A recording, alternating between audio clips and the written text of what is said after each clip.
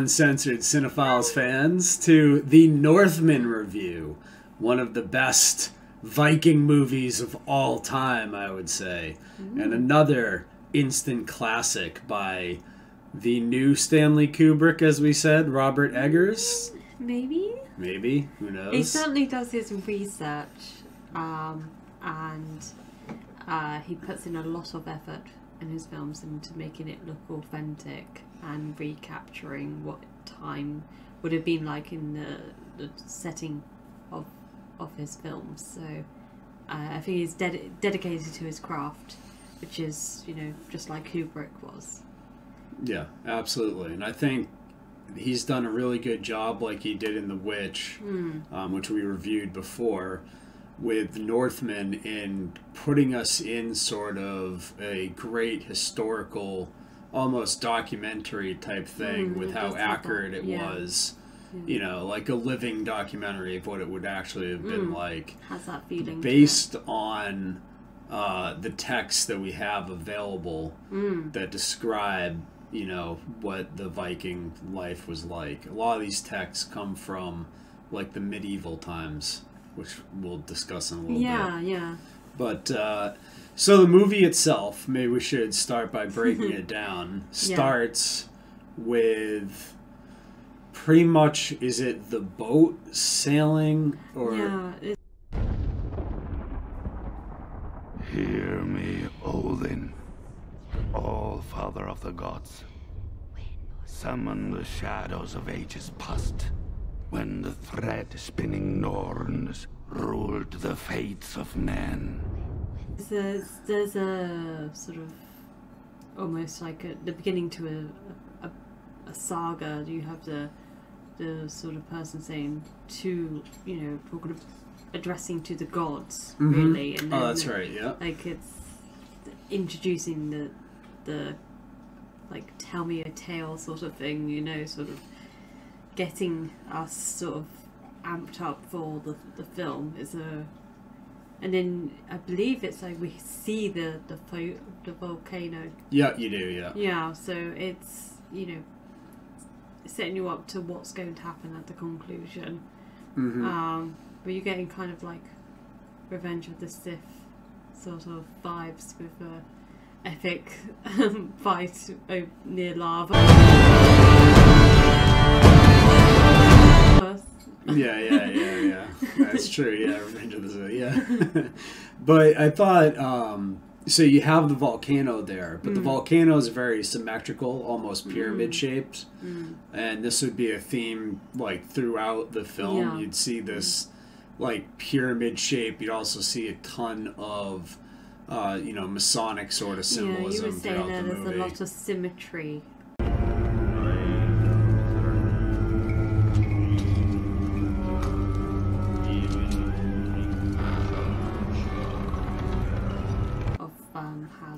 Shots are set up.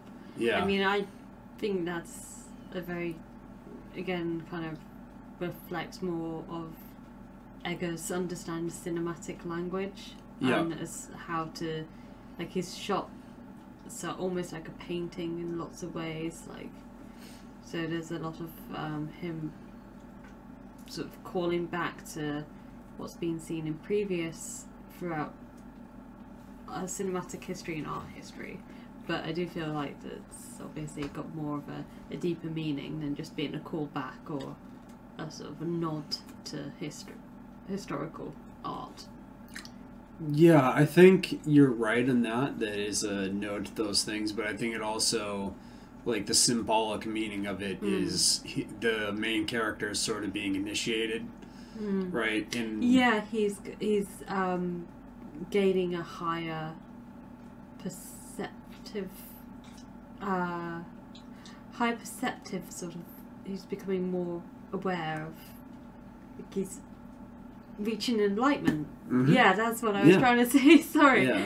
but yeah, we have a. The, of course, the, we're first introduced to him as a child. Yeah. So, um, his name is Amleth. Amleth. Oh yeah. Yep. Is that Amleth? it? Yes. Amleth or something? So, yeah. It's we we didn't look that up. I didn't look up to see if the Yeah. name had meaning. It might, but Uh, yes. because his his witch movie, all the names had meanings. Maybe Mm. all the names have meaning in this movie as well. I didn't even think to look that up. No, no, we've we've been I've been so preoccupied with looking into the mythology of, of ravens. Uh, how Raven friend that's just suddenly turned up in our garden. So Yeah. um, it, it, like I haven't even thought about looking at the names, but uh, that's usually what we we do, don't we? We sort of look at the names used in in the film, and they do have a sort of a significant meaning. So. Um, yeah, unfortunately, we've not done that this time, but I'm sure we'll probably discuss it at some other point. Hmm Um, But so so after the volcano, Mm. you have speaking of the ravens, the two ravens, right, yes. flying over Mm. the boat as it approaches the kingdom, Mm. and the kingdom that is like you know their Norwegian kingdom, I guess it's in Norway, Yes. um, is uh, like very pyramid looking as well, Mm. just like the volcano. So like as the boat's approaching, it's like it's approaching the kingdom, like the pyramid, like it's all like in alignment as well, Yeah. right? And you have like the two ravens.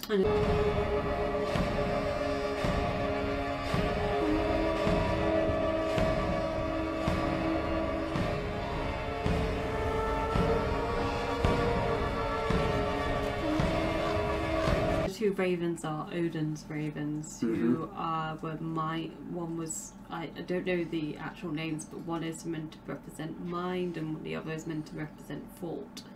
And he, uh, Odin would set them free in the start of the day, and they would fly all around the world. They were like a supernatural sort of entity, and they would listen to everything that was in see everything that was go- taking place and then report back to Odin.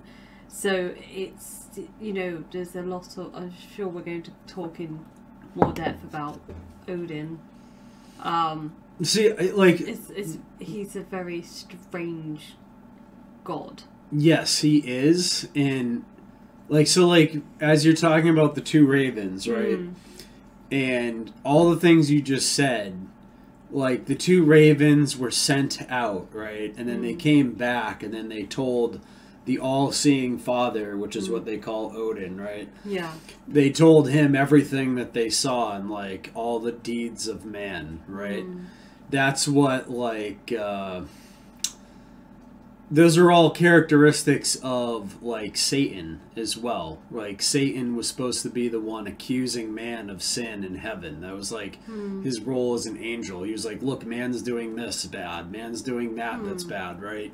That's where like Satan comes from, the name, like the accuser, right? And then you have the the story of Noah releasing hmm. not just the dove but also the raven Yes. and it says in the King James version, the raven flew to and fro, you know, after Noah released him. So it uses the terms to and fro. And then when God asked Satan, "Where were you in heaven?" the ra- uh, Satan says to God, "I was going to and fro."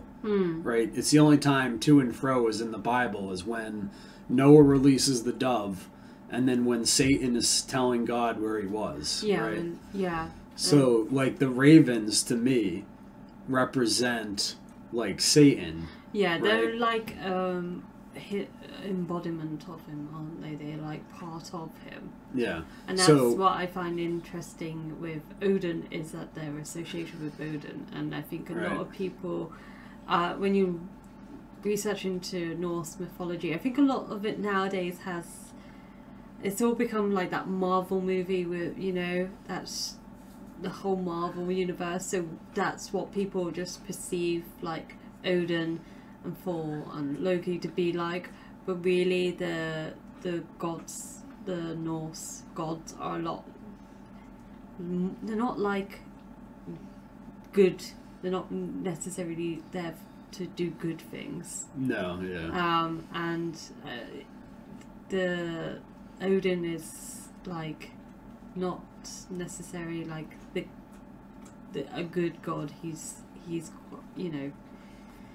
There's a lot of sort of dark stuff that he does, and the fact that he um, gave up his eye in order to gain more wisdom is something that's obviously very interesting, especially when you sort of look at um, well, um, certain how losing an eye to gain more wisdom is perceived, you know.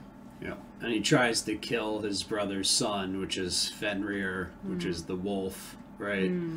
Which, you know, at the end comes back for vengeance during Ragnarok, and then Odin has to fight him and all this. But the, the thing about Odin that I find interesting is why are all these like Christian aspects of like the Christian religion woven into who we identify in the modern day as Odin?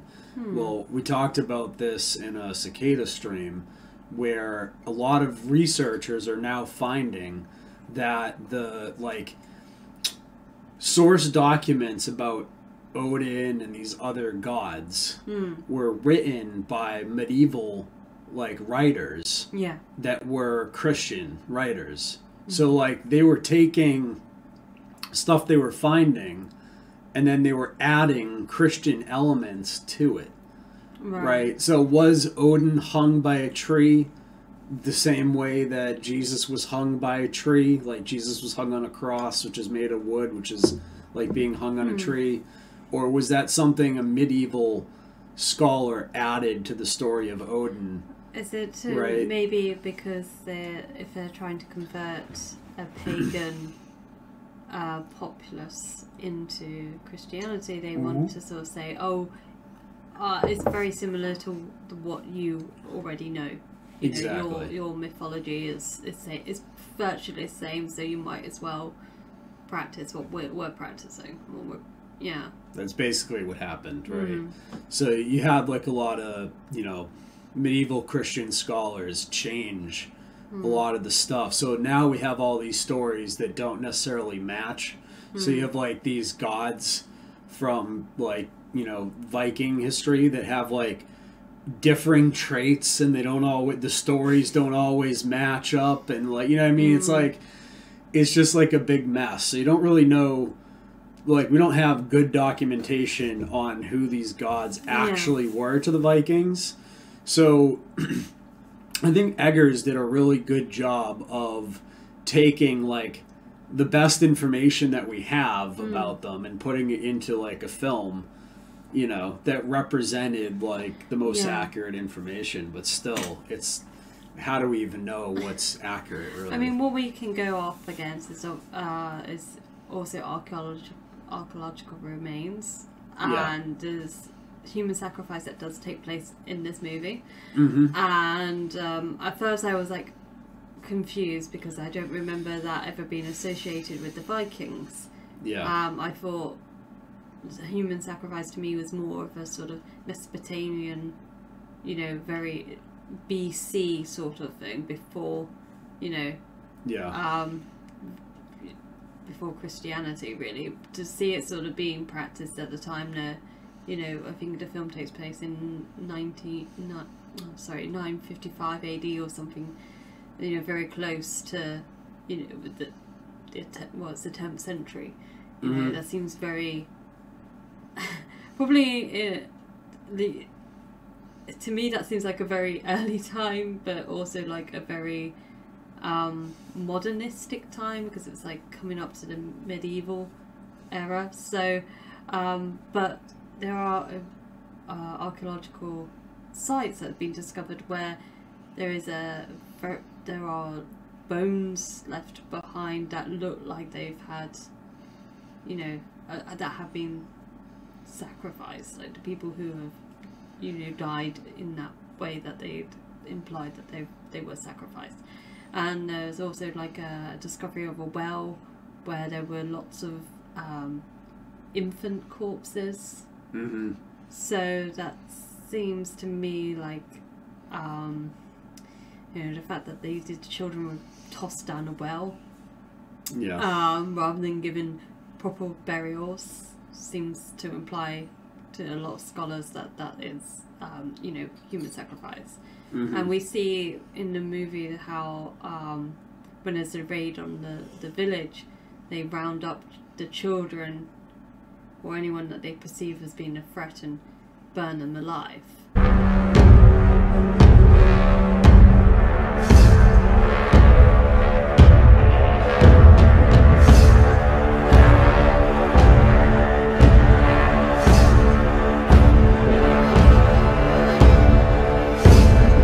hmm And then there's also the uh, young woman who is, you know, sacrificed um, when the older son of the uncle dies. So, uh, and there's also um, animal sacrifice that takes place in the movie. So it Yeah. is a very much like a world where um, sacrifice and religion and religious sacrifice is very much like uh, you know goes hand in hand. Yeah, it's like you have a religion where people are worshiping nature, Mm. right? And they're wor- they're like, we need to do these things in order to make sure that you know the climate is the right uh, temperature in order to make sure our crops grow and we have to like make sure that we're worshiping nature as like a religion almost as if it's a cult and then we have to make sacrifices to it Yeah. like not eating meat and having smaller populations by sacrificing people right it, it's almost like that's a bad thing and that's been seen in the past as a bad thing and it's almost as if that's happening again And oh, oh wait we're talking about the movie Oh, Sorry. sorry. back to back to the movie I know what you mean though, but it's very much like um, yeah, the the the just this connection with uh, you know, like you say, nature and religion because you see the tree of life yeah in the in the movie. So, Mhm. but back let's go back a bit and sort of talk about uh, the start of the movie. Yep. Um, you know, so we're introduced to the ki- um, the king, Yep. um, and the very sort of frosty relationship between him and the queen. Yeah. And what I find interesting about that scene is the fool, who's played by Willem Dafoe. Mm-hmm. Um, Who's also the like the witch. yes, he's Right. also like the, a witch doctor or Yeah. something. It's very like a, I don't know how to sort of. He's a fool, but he's also like a wise man. You know, so Mhm. he he The wise man plays the fool. yeah Right. he says to the court that the the queen is uh, her cup is thirsty for the uncle, you know, for the brother. yeah. Yeah, and, And he was right. he was right. So I thought it was interesting too that the the king rode in on his horse. hmm, Like he didn't get off his horse until he was all the way into the the chamber in front of everyone. Like he's riding in on a high horse. Very symbolic, yeah, right? And he was mm. kind of like a douche, like someone like that, you know, like get off your high horse, dude, and like you know come down here with the rest of us. yeah.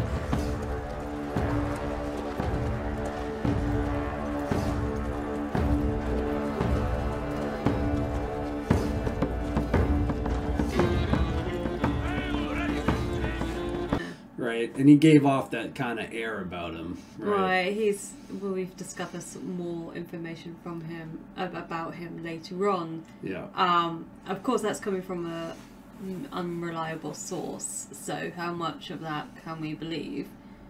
Um, in terms of the Yeah, Nicole Kidman's character. She, yeah, Nicole that. Kidman was back back again. We saw her in Eyes Wide Shut. She, uh, she Yeah. again playing a a sexually repressed woman, maybe. Yeah, a like ex- promiscuous woman. yeah, yeah, yeah, Or a woman that isn't faithful, right? yeah, I think it's interesting that he picked her for that. Like casting choices like that are always really yeah. interesting. Um, She has that wild look in her eyes when we Yeah. first see her when um, young boy sort of like stumbles into her chambers and she's just like holding on to that fury. He's here. Mother! Father is here! Never enter my chambers without invitation. The king, milady. The king.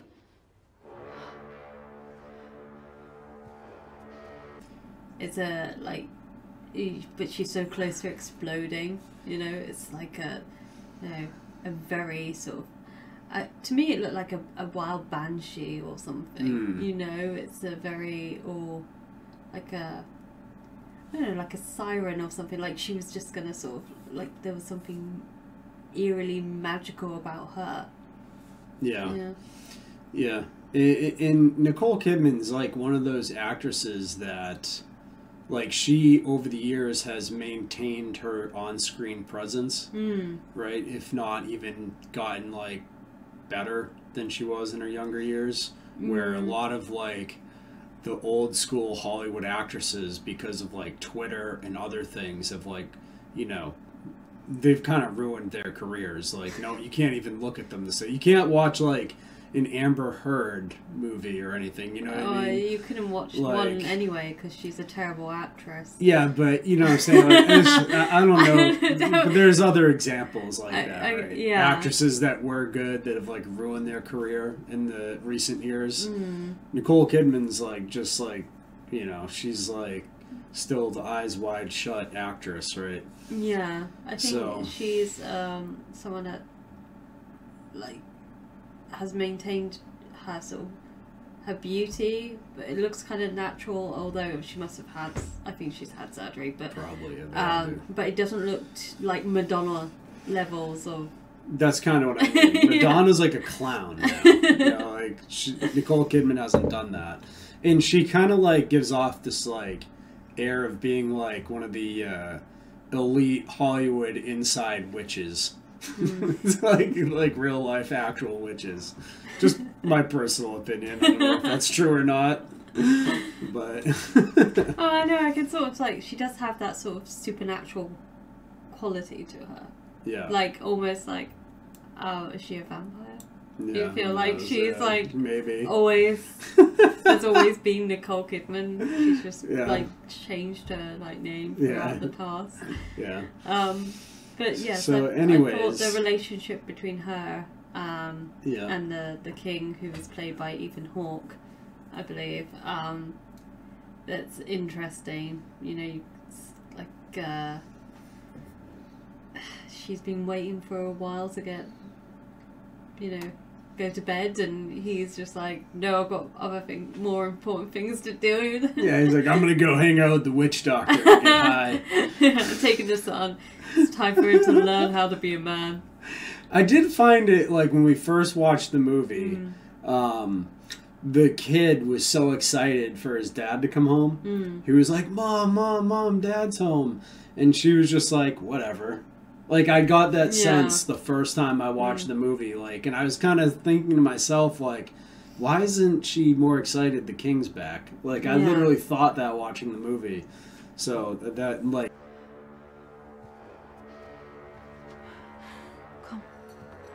Odin brought him home. to find out later. Obviously, our reviews all include a ton of Yeah, spoilers. sorry. Yeah, people don't. Like, she I don't think people watch these going like, "Oh, I won't." Uh, you know. Find out about the ending. We're analyzing the ending as we're doing this. So But of Um, course, that scene where um, it's a weird scene. The the enlightenment enlightenment scene with the the witch doctor and the. Hmm, yeah, let's get into that. Yeah. I don't know how to get into it. It's so. All right. There's Well, so first, much that goes on in that one scene.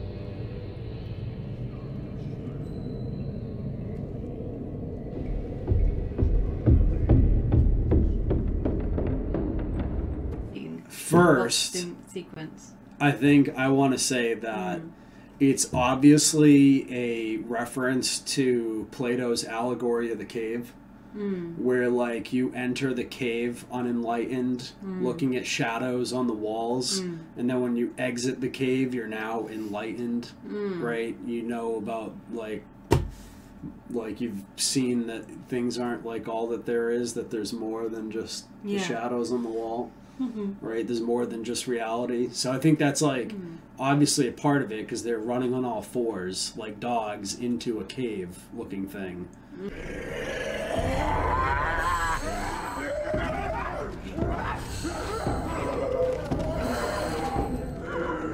Yeah, Right. again then sort of the animalistic is kind of like at the beginning of 2001 Space Odyssey is that what kind of reminded me of and I think we have that those chanting and the wailing sounds as well which right yeah. um you know supposed to sort of like I don't know it's like the animalistic sort of pre uh, you know pre dawn of man sort Mhm. of thing going on there. And yeah they do act like like wolves which is um again very tied up to Norse mythology.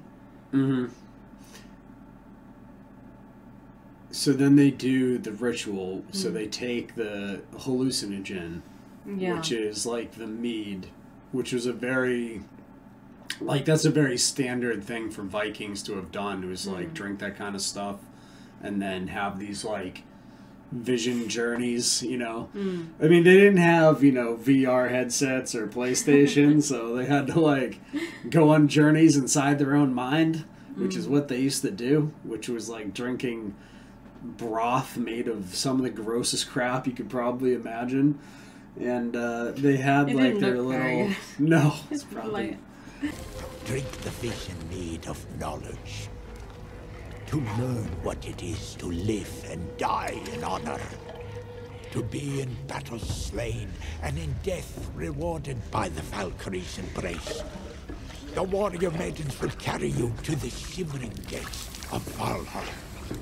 It's probably like piss and other like disgusting like herbs. I'm pretty and- sure it had like bits of bone floating in it. It looked really gross. Oh, you know what it definitely had in it? Mm. Mushrooms. Uh, I can. I don't. Yeah, the, the bits of bone are okay, but the mushrooms No, got I'm not a big fan of mushrooms. you. you were fine with the bone, but just it was the mushrooms I'm not doing you. mushrooms. I guess I won't ever be enlightened. Not in the Viking Not in the of way. Viking it. No. Anyway, so yeah, so they do that, and I thought the the vision sequence was relatively uh, meaningless, um, but I did think they said some interesting things in there.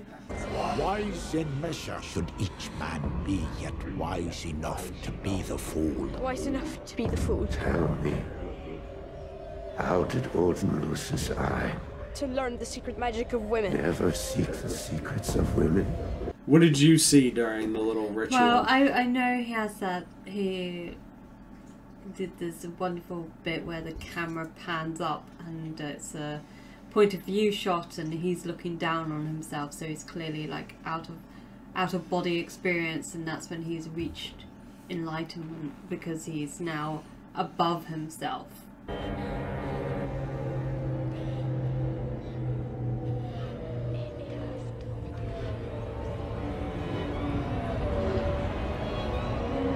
Mm-hmm. So that's uh, I can't really remember what the the um, dialogue was, but what did you get down? Okay, so a couple of things I wrote down Mhm. on here. So we know how they're acting as dogs and animals. Yes, yes. Well, in MK Ultra mind control programming, what they have you do is cr- a lot of times create like an alter that is an animal.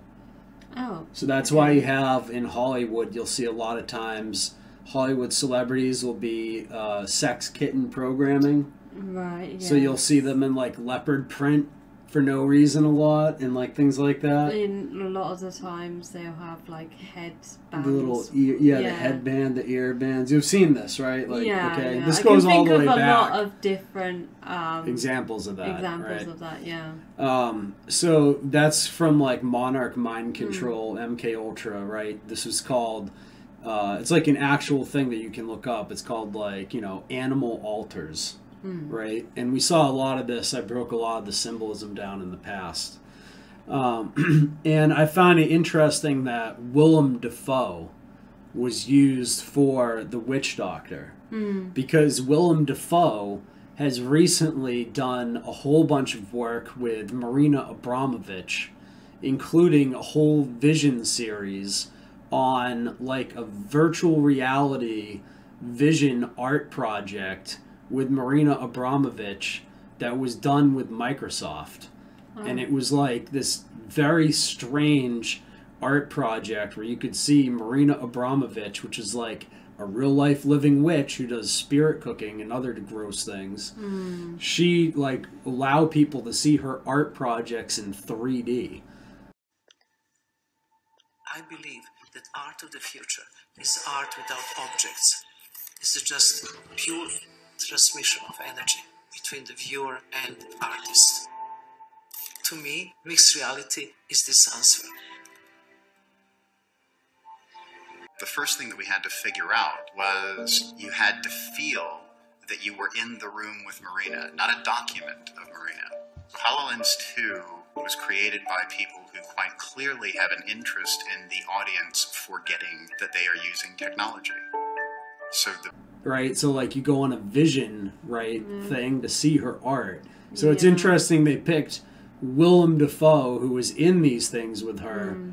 as the witch doctor to do like vision stuff. Like like it's just very similar in Mm. nature to that that stuff that he was doing with her.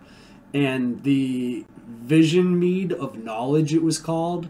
They said drink the vision mead of knowledge Right. right? So once again, that ties into the the raven that you were talking about Mhm. with the knowledge Yeah. and like the whole tree of knowledge, Yeah. which is the tree you're not supposed to pick from.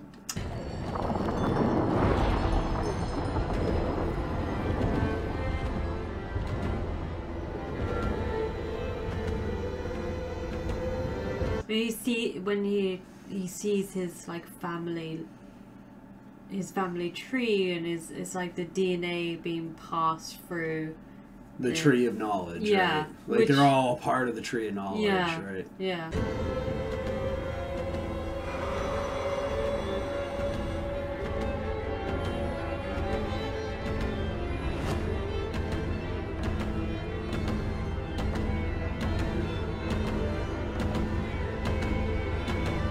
Lineage of the House of Cain, Yeah. right?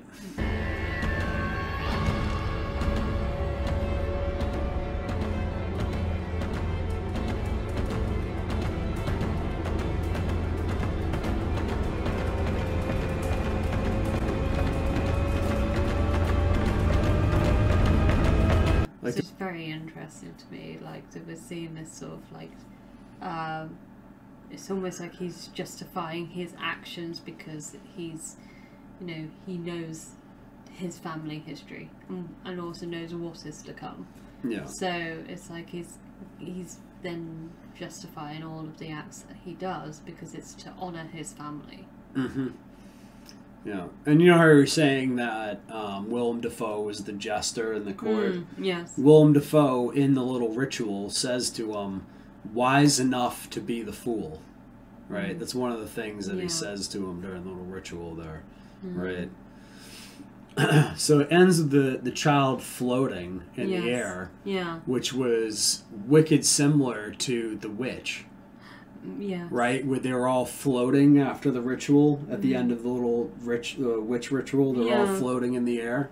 I Mhm. thought it was very similar to that, right? Yeah, I mean, and another thing that's kind of similar to that uh, is kind of like I think we recently watched Room Two Three Seven Mhm. documentary on The Shining. I mean, most of that we disagreed with. But there was something where someone said like the layout of the Overlook is on different levels to what it's actually supposed to be. Mhm. And then so Danny goes onto a completely different like level Mhm. of like his this spiritual awareness. Yep. And I think that you just saying that reminded me of like that. That's how it is, you know. Yeah, he's, like, floating up he's the hotel. floating, yeah. And he even though Stanley Kubrick doesn't do it in the, the way that we're seeing here with Eggers. Eggers is more di- direct. It's not as Yeah. subtle as Kubrick. Kubrick's doing it in a very sort of like um, Hidden. like- hidden yeah, Yeah. in a hidden way sort of like more suggestive. So to the average viewer you wouldn't pick up on that. You wouldn't notice that the the uh, the path that Danny is doing on the second floor is complete completely wrong. It doesn't match up. You can't actually do that path. But he is not even doing it really. He's it's all taking place in his mind Mhm. Yeah, as he's like floating upward through yeah, the hotel. yeah. Yeah. Which I can't wait for us to do on follow up to The Shining. I'm just getting people hyped for it. So, you know, you thought our other one was good. We've got more to discuss. We've discovered more things. But back to Northman. so yeah, so the little ritual ends with Mm. him seeing the DNA strand, Mm. and then like it showing how DNA contains the genetic memory of your ancestors. yeah, which is all very Assassin's Creedy. It's also very the Lost Truthy because I wrote that in the Lost Truth, my book. Yeah, that's right. And then I actually went through and found Doing a plug-in. the. Uh, but I actually, unlike the, the Assassin's Creed, I actually found the scientific evidence that backs up Hmm. that theory, which was um, stuff like the bio. I forget was it bio. I wrote it in 2014. Hold on, the Bioinformatics Institute of Europe or Mm. something like that. Um, they had done a study where they had synthesized DNA in order to record information. So they had taken a painting Hmm. and then taken that painting and turned the painting into zeros and ones. And then they turned those zeros and ones into the four base proteins for DNA, which are like A, B, G, and T, or something like that. And then coded those zeros and ones into those four proteins, then synthesize that into actual DNA. And then they were able to ship that DNA around the world and then unsynthesize it and decode it back into the painting. Oh, And so- what they yeah. found is that because DNA has four proteins instead of just the zero and ones like computer, Mm. that it's able to store significantly more data than a computer because it's four is a base four system. Yeah. Right? So like you can store a shit ton of information in DNA, way more than you could ever a computer That's amazing. right? And it will last forever because all you need is a DNA sample, which you can pull from like a mosquito out of like, you know, millions of years ago, right? Mhm. Like in Jurassic Park. Mhm. You don't need to have like a power supply or anything. DNA lasts forever. So if you store information in that DNA, it lasts forever, right? So you apply that to like a whole bunch of different things. I thought it was interesting. It was in the Northman Yeah, movie so yeah. blatantly. Yeah. and of course, let's um, get to get past all the sort of like I guess the boring narrative stuff. You know, the king is murdered Yeah, the King's murdered. in a you know. uh, Oh, we saw that coming. Yeah, everyone saw that.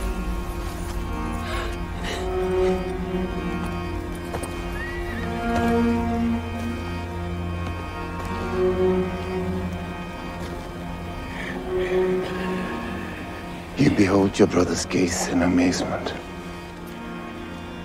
yeah, he didn't see it coming.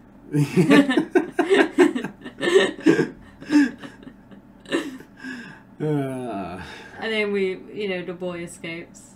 I guess the question with the the dad is, does that count as dying in battle? I don't think so. Because he was like shot in the neck and then he was executed. So does that count as the father dying in battle? Because he did kind of die in battle. Like he was like fighting them, but he just yeah, like but he was it really like a uh, a glorious death? Is that like because he didn't really take anyone out with him? You know, it wasn't like yeah. he he was he didn't have a chance. It wasn't like Yeah. a I don't know. I guess maybe it would count. I guess. And if Odin is a good god, Yeah. like if he was like Mm. an actual benevolent, like good god, why would his requirement for getting into heaven be you have to be trying to kill someone when you die to Yeah. get in? Like why would that be the requirement to get into heaven? That doesn't make any sense at all, no, right? Like no, it's all a bit weird, isn't it? what a backwards religion. Unless you're trying to murder someone, we're not letting you into heaven. Like what? I don't, I don't know. But um, yes, of course, it's it all goes a bit horribly wrong, and aimless. A- Amleth, Is his son's name? Yeah. yeah, he escapes and is like then on a revenge mission. You know. Can we talk about the escape just for a moment, though? Okay, right.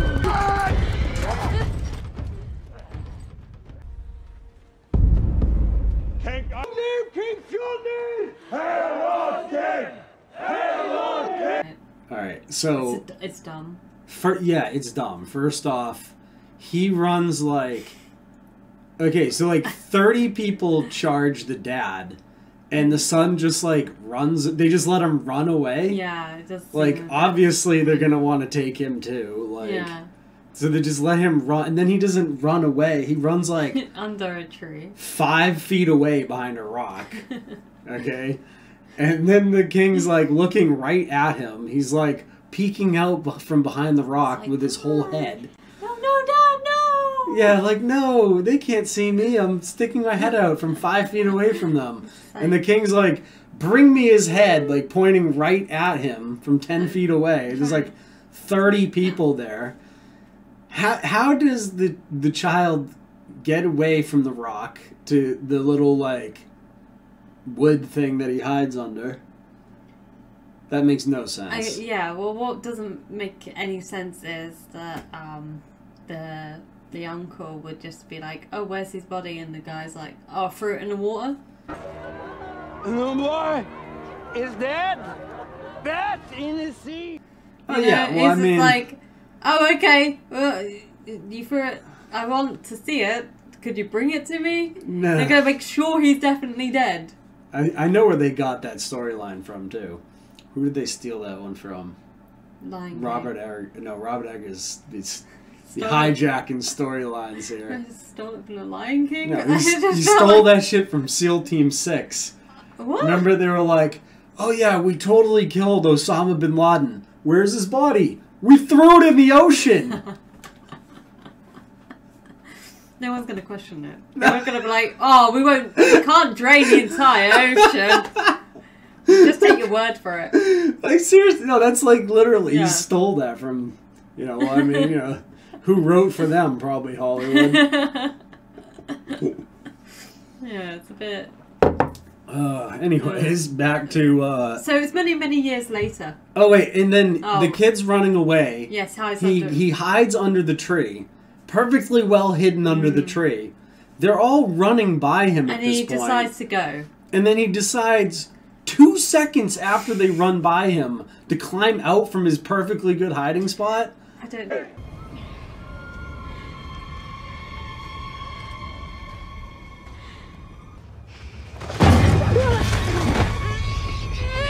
Why, but then like No, movie wouldn't just- movie wouldn't happen if he just stayed still and you know that wouldn't be exciting. Like he had to Why? Because there had to be because he had to cut the guy's nose off and he then later cut- kill the guy Yeah, with no to cut- nose. and then also witness his mother being like dragged away screaming. Is she screaming or laughing? You know. Yeah. It's, I think I don't know what to make of that because it does. I know I've watched it a couple of times. It still doesn't sound like she's laughing at any point. Oh yeah, and then the the, the the kid, he almost gets killed in the woods. He sees his dad get killed, beheaded.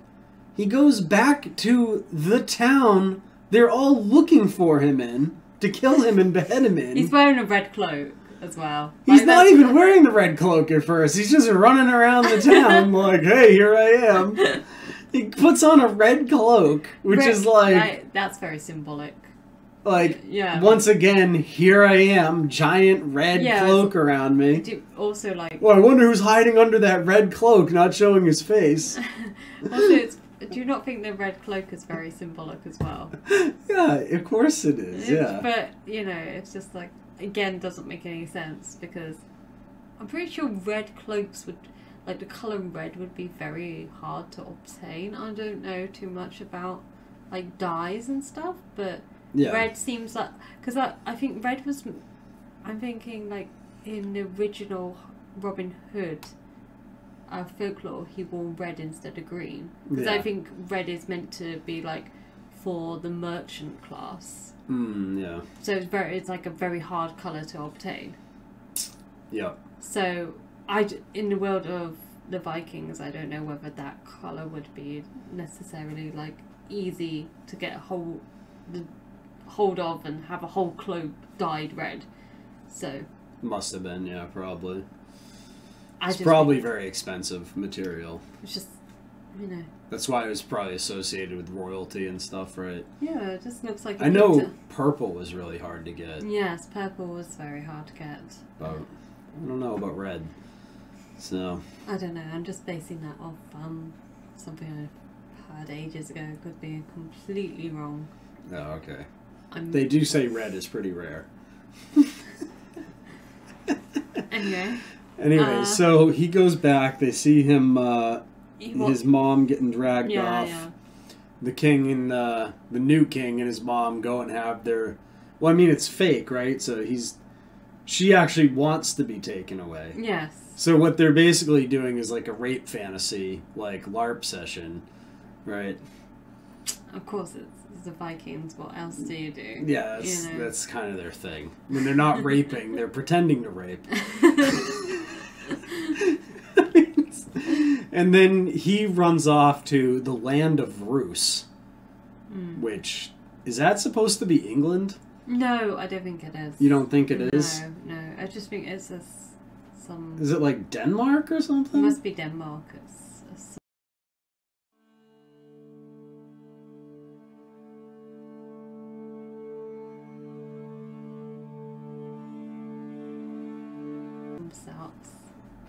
It's definitely south of Norway. Yeah, it's definitely like in that. I assumed it was like England. No, I don't think it would be. No, Although the Vikings were there at that th- time. yes, yes, they were there and they they're busy coming around, sacking our our country and raping our women, women, stealing temple stuff and yeah, burning our churches and just generally being right dickheads. Or, I mean, that kind of makes sense if it was. I don't know. It just didn't look like. Um. I don't know where it is meant to be, but anyway, I was just thinking it could make sense because they would then go on to Iceland, which is kind of close towards the UK, right? Yeah, that's why I was thinking mm. the UK I don't know, but either way, it's like he's now. because he's on a river, right? Yeah. It's like so it's either Denmark because they have the canals, Hmm. or it's like England because they have all the little rivers. Yeah, right. but he's England. going to go raid. He's like with these Yeah, this Viking group. I don't know what they're. they're just a- like a raiding party. Yeah. Right.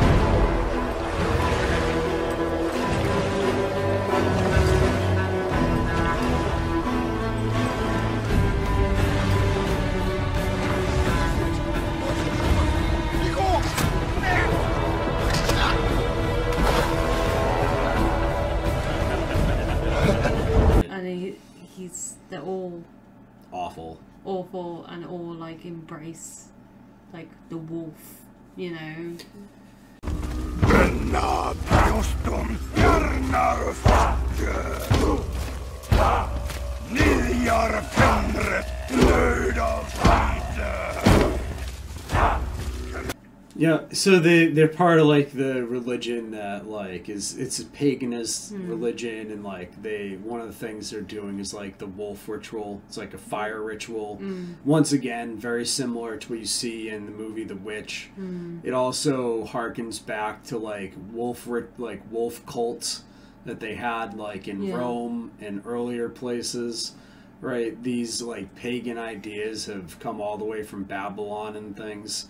And basically, it's like the worship of nature rather Mm. than the worship of the creator that made nature. Yeah. Right? Which is why it's all false nonsense and ends up, you know, those people end up being influenced by dark spirits and things of this Yeah, world. it- it's a very Right. like a very dark scene. You know, it, Yeah. he just like completely He's like howling. You know, when we see him, um, he just doesn't seem to register any like human emotions at No. all.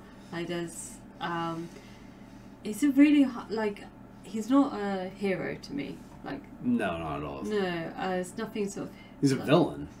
Yeah. I, I think the, the Viking main character is a villain. Yeah. Like, absolutely. I think it's really. I sent you some links to some articles um, where people were like saying about him being like toxic, um, talking about toxic masculinity, that little buzzword. um, He's totally tossed. Was it toss? I can't even say it. I can't even say it. toxic masculinity. Oh, it hurts. I can't You even say the words. You say it, to, you say it in the mirror three times. Greta will appear behind you and stab you to death. um, I think like people have really like perceived his character in the wrong way, like Yeah. um, because it's like the weird sort of thing where uh, alt right people have like embraced him as being like the ultra, you know, like male, like the Andrew Tate type of thing, you know, don't show emotions, like Yeah. you know, just go out and do what men men do, you know, Yeah. like kill, Andrew kill Tate- women and children, you know. Andrew Tate probably only cries when he's getting pegged from behind. Okay. anyway, but but then the other like again other reviews that I've read have been like weird about the. I, there was one hilarious one where it's like started talking about like Donald Trump, and I was just like, oh really? Oh, it's like. Just like you know, just why are we? I, I just this is why people can't take film critics. Number. Remember Time? Remember Star Wars? Remember the Northman?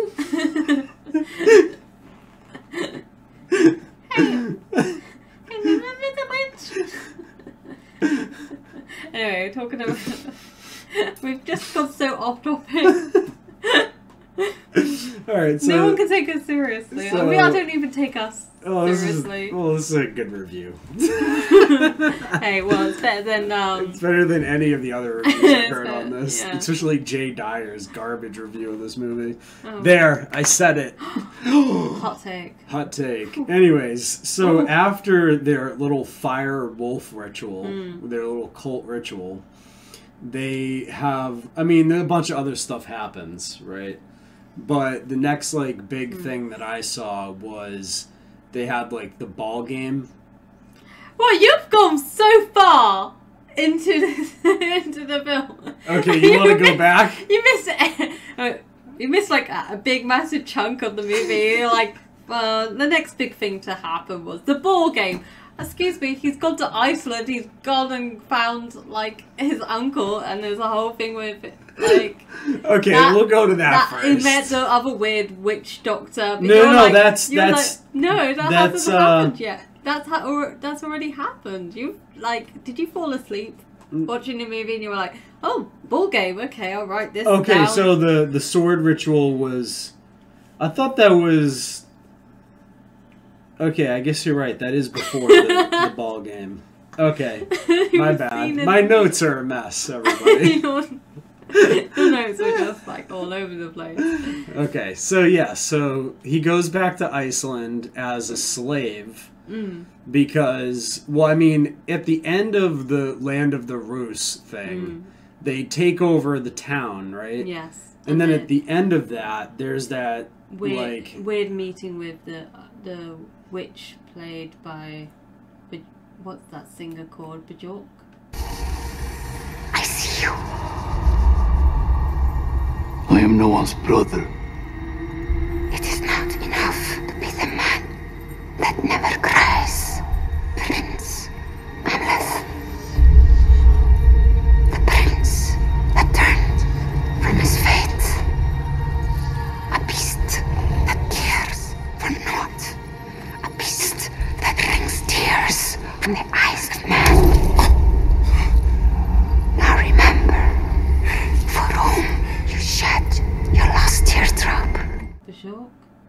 Yeah. Well, I can't remember how you say her name, but um, the the singer, uh, Bjorn. What's her name? I don't know. You know, she was that famous singer in the nineties. Like, she wore the swan dress to the Oscars. Bjorn. Bjorn. In the '90s, I was playing like Oregon Trail, not watching the Oscars. Like I would never watch the Oscars in my life. Okay, well. I don't know. I don't know. And this is why I have you on. You're the film expert. You know Hollywood people. I just know I know conspiracies. Hollywood people. I know of Hollywood people. You know of Hollywood. You know a lot more about Hollywood than I do. Anyway, she tells him that he needs to go to Iceland. Yes. Because he's got unfinished business.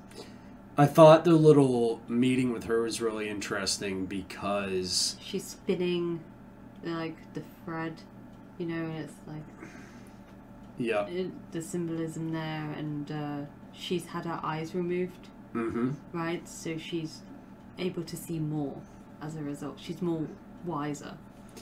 But she's also not really there too, right? Like it's all Yeah. potentially just in his head, right? Potentially So in it's- head, or potentially like another Norse god, you know, Yeah. trying to get him to, to go to Iceland working with Odin. Mhm. So, I mean, he it's a very interesting scene, and of course, there's we see our buddy the Raven turn up later on after that scene when he Yeah. decides to go to, you know, cut his hair and become a slave, or you know, brand himself and swim out to a boat and get on and meet uh, Ogla. Ogla. Mhm. So, who is played by the girl who was the witch in The Witch. Yeah, and I find it interesting because, um, so there was you've probably never played it, but Call of Duty Black Ops Three. No, In that movie, or not movie, sorry, video game. Mhm. It's basically like with the cutscenes. There's like basically a movie along with it, Mhm. and like what's happening is like the guy is got a DNI, like a direct neural interface in. I saw the human test subjects from the Black Project in Singapore. Something inside them screamed out in agony. It caused the whole disaster. It killed so many people. Relax. Breathe. but he keeps like seeing things that aren't there Mhm. like he keeps like getting further and further lost into like another reality Hmm. and the thing that's leading him along if I, if I remember correctly i'm pretty sure i'm right on this is a raven and like it's constantly like leading him further into like psychosis and he keeps seeing things like the witch Hmm. like the witch doctor where like you're seeing something that's there but then like it's just gone Hmm. like after the little ritual is over and then you get further into the psychosis it's like the sort of same similar like path of like enlightenment to the dark side Hmm. that like hamlet is going on in the viking movie the northman that's also like portrayed by the main character in like that third black ops game right hmm. Fighting by our side. A sudden uprising would catch the NRC off guard, weaken their grip on the region. Just like their attack on Ramses, we use it as a distraction to get on them. Once Taylor's done with, we find a way to get this thing out of our heads. Whatever it takes.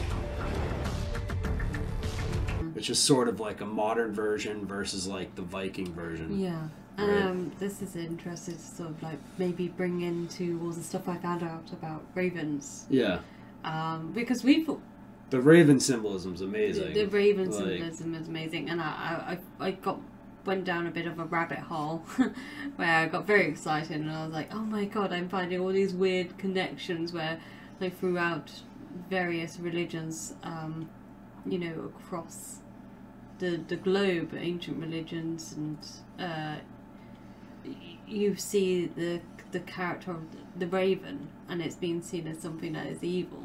Mhm. Um, you've already spoken about how it's, you know, brought up in the Bible. There are other various different, um, you know, religions where I think there's um, a Hawaiian religion maybe. Uh, it's where the raven steals light and gives um, gives it to man. You have reli- steals light and gives it to man. That sounds a lot like Prometheus, Hmm. which is basically the same story as Lucifer, which was like, oh, eat from the tree of knowledge, Mm. right? Giving mankind fire was Prometheus, right? It's the Yeah. same like thing, right? It gave mankind something forbidden, yeah. right? And um, in Hinduism, I believe one of the the, the gods, uh, one of the gods, uh, which is the embodiment of um, Saturn, uh, rides a a raven. Oh, yeah, of course. So, um, and Saturn, as we've talked about, is very symbolic. Saturn Mm. symbolism is symbolic, like to the occult. yeah, but there's a lot of things where it's like uh, because the actual raven itself, the bird, is a very clever bird. It can mimic um, other sounds, Mhm. even human voices. Really? and uh, recognize human faces.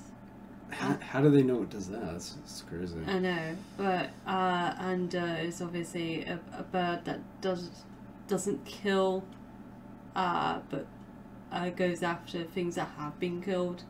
Yep. So it feeds on you know pe- uh, uh, you know dead things, and um, when you know it's still tied up into superstition now that you you see a raven, it's you know there's like I was looking up online like because we saw two. I was saying this all to you when Mhm. I was researching, and then I look out of a window and there's two ravens in Yeah. our garden. I'm like, that's weird. Yeah. Like I've never seen any raven, you know, unless obviously I'm not being paying any attention to it. But it was just no, we pay attention because we're always like we have the the hummingbird feeders Yeah, out that we're always looking at, yeah, and we we, got the three bird feeders we put out. Mm. So we're always You know, I I love looking at the birds here because you know the cardinals and we have like the hummingbirds and like the woodpeckers and never Yeah. any ravens no ever. no I j- and now that And then like one day after we were talking about this, we had two ravens. two ravens and then the next day they came back And they were like so insistent on being in our yard Yeah. that they were pissing Brutus off. and Brutus was like chasing them from yeah like and then they I would think- land in the driveway and Brutus would run into the driveway and chase them off. Then they'd land in the backyard and he'd go chase them out of the backyard. So we're like I said to you, our Raven friends turned up. And when I was, you know, downstairs and at my desk, and I look around, it's like sat in a tree just watching me, and I'm like, okay, this is weird. But um, yeah, very. All birds are government drones. No? I mean, I would prefer that than them being like the embodiments of Satan. yeah, so. it's probably that though. It's probably like Satan's like minions watching us. But um, I just find it in, very interesting. Different cultures and civilizations. There's always been like this. Um, the, the how how the raven's always been seen as evil, or you know, uh, the trickster. Mhm. Um, there's lots of stuff in uh, Native American, um, you know, religion. The, the, the, the stories of the raven. Mhm. You know, if you hear it, it means bad luck and you know not to go and hunt and all this sort of stuff. So, um, and I think it's interesting how it's still ingrained in our in our culture that you know you see like say for example the character of Maleficent in Sleeping Beauty, she her pet is a raven. Yeah. And she's like the embodiment of evil. Right. So and then of course you have the famous po- poem by Edgar Allan Poe, The Raven. You know. yeah, and Edgar Allan Poe is a creeper. yeah, I was like, I think we'll go on to him. That was a whole different thing. Um, but um, Yeah, yeah, but the the occult loves ravens, Mm. and you're right. Like every so every like not every, but almost every ancient culture Mm. has a flood myth Mm. where the whole world was flooded. Yeah. And they also have identified the raven as a trickster and evil bird. Mm.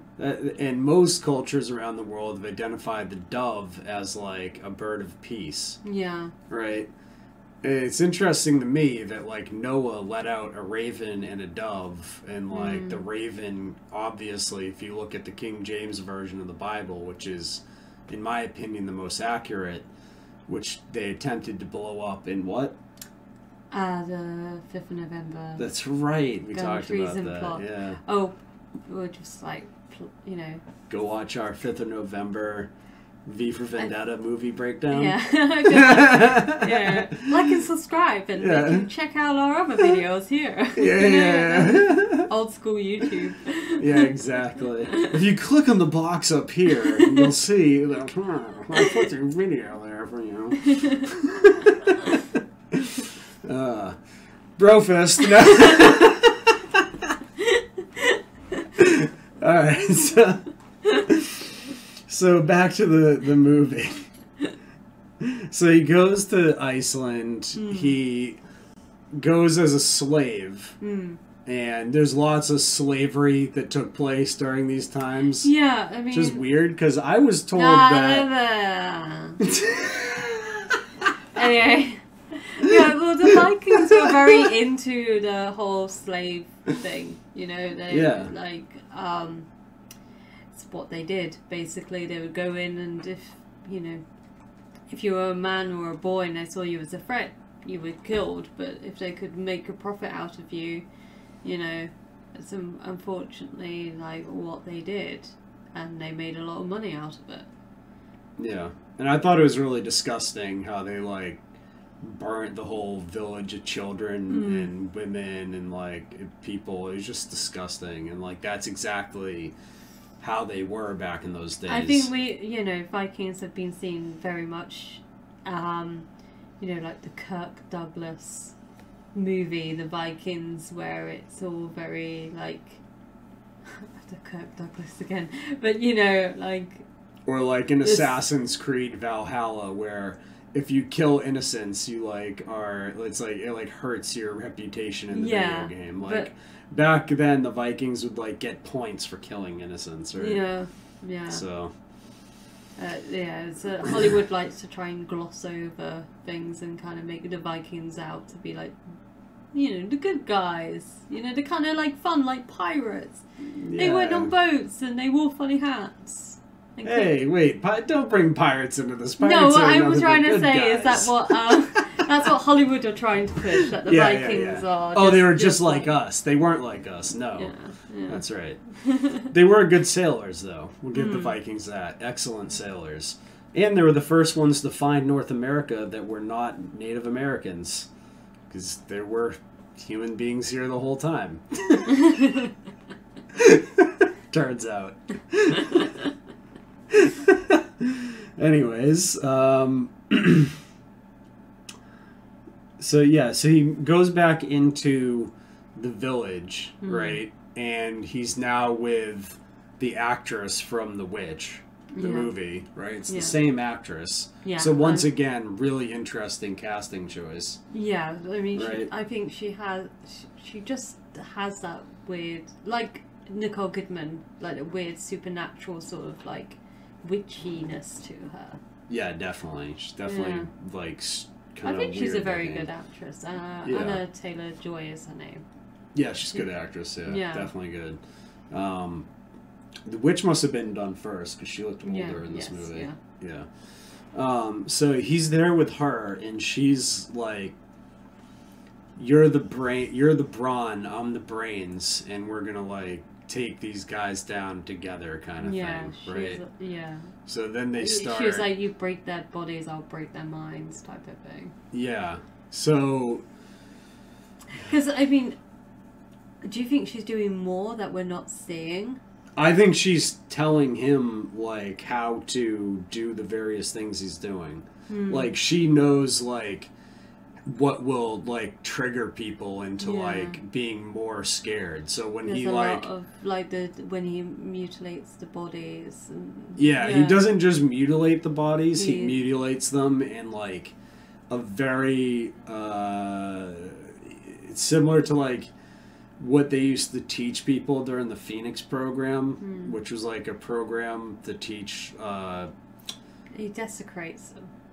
It's not just desecration, it's done to scare the local population. Yeah, which is exactly So you like happens, yeah. murder someone, but then you arrange their body in a way that makes it look like it was done by like mythical local and you, spirits. and you take their heart out. Something Yeah. that is, you know. like meaningless to our current civilization, like his I mean, heart's I still missing. no, like- no. I still feel like people would are still freaked out when they, that you know, when that happens. I mean, it's still like how Jack the Ripper, you know, stole Yeah. stole um, people's, you know. The, But to like the ancient Viking people is like they considered the heart like your brain. Yeah, So to so- them it was like a lot more important. Yeah. Right. So It's interesting they consider the heart brain. Like a lot of his thing is he's not using his mind or he's, he's not using his intelligence. He's very much driven by emotion. yeah. Um, which kind of is like the driving force of the drive factor behind, behind most of his decisions. You're just like, oh geez, would you just take a second to think about what you're doing? No, okay, you're just gonna go and do this. Like, you know, you're not gonna Yeah. think about like if you kill this person, what consequence is gonna happen. You know. Um, well, of course, he when he gets to the village, he discovers uh, his mom is very much happy with uh, his his new uncle slash stepfather. Yeah. um, his um, mother's gone on to have another another boy, who she's more affectionate towards, and they, you know, even though his uncle has lost his kingdom, they still have a sort of a good setup. You know, he still has people who are loyal to him. He has like a sort of small community. He's like His- starting over in Iceland. yeah, and it's Yeah. clearly got some sort of wealth because he's able to buy slaves, Mhm. and um, they still seemed pretty healthy, and you know, the the building, he's teaching his. He's a much better father. Right, he's teaching his son how to. You know, his son complains. His son, which is likened to Donald Trump, uh, for say, you know, complain about doing slaves' work, which is the craziest line I've ever read in a review. I mean, I don't know how you can I'll disprove insert that into like it doesn't make sense that the I'll- boy doesn't embodiment. Okay, so I'll disprove the Donald Trump I mean, you don't right need now. to. Anyone You- who's no, but- sensible will be Alright, like so the dad is building what? a fence. A wall. Yes, He's building a wall. but he's And the son doesn't want to build a wall. What does Donald Trump want to do? He wants to build the wall. So he's definitely not an embodiment of Donald Trump because he doesn't want to build the wall. He wants to go pick flowers or God knows what they do back then. probably pick flowers. Yeah, probably Like, pick what- flowers. um, but yeah, it's just like it just goes to show like people need to get past the whole It's yeah, it's a dumb comparison. It does.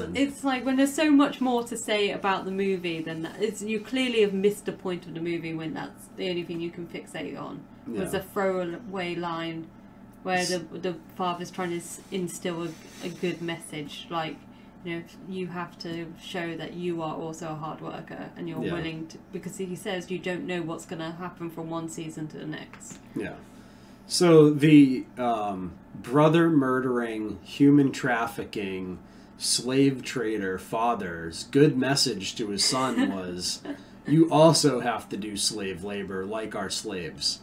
So he was a pretty decent guy compared to the Northman character who came to kill him for killing his father, which was also his brother. Okay. All of the people in this movie are everyone is awful, but I I can't. would drop a napalm bomb on all of these people. But do they? They're all pretty awful. But do they deserve what happens to them? And you know, like Yes. well, yeah, I guess you know, I guess so. Um, the child certainly doesn't deserve to die. Okay, yeah, the, the kid's okay. He didn't Um, really do anything. Oh, okay, yes. The the uncle is also trying to rape his slaves. The mom wanted an abortion. Yeah, she wanted an abortion, and her son was like in his thirties, so she still wanted an abortion. She still, she was like, I want a fourth trimester. Is it too late? How old are you? Thirty three. Let's let's go. So there was like really no redeeming characters in this entire film, Uh, other than the kid. The one, the kid was, I guess, okay. like if But he he was had- kind of a dumb brat too. Well, if he had survived, would he have then wanted revenge on the Northmen? Probably. Uh, and then, Yeah. and then you know it's like a vicious cycle where it's like, you know, You have a society where the only way to get into heaven is by killing other people, and and everyone's you're trying to like kill each killing other. your family members. There's just death everywhere, from what I saw in this movie. How how there's anyone even left, I don't know. I mean, they must have been also having lots of un. Oh, that's all they could do is have unprotected sex. So I guess. It's either kill or have sex. Yeah. There was like no other pastime oh, apart from that weird ball game. Do you want to go? Which was also just murder. it was like we're gonna put a ball in the field now, murder each other. yeah. So um, yeah, they played a decent version of soccer, right? I guess you'd call that. It was nothing like. It was like stuff. field hockey, but with actual like you know Yeah. before the NHL put a bunch of stupid rules in place. Yeah. It was like NHL '95 out there.